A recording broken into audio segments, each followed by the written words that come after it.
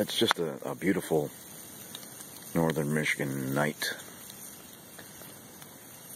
The wood was uh, pretty wet. You just uh, got to be a bad motherfucker to get a fire going after it rained like hell. But I got a pretty good fire going.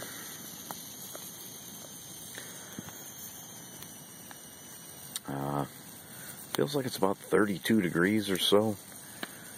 Doesn't appear to be a cloud in the sky. And it's, you know, the long December twilight. It's not late. It might be 6 o'clock. Maybe 7. A few stars are coming out. I heard the coyotes already.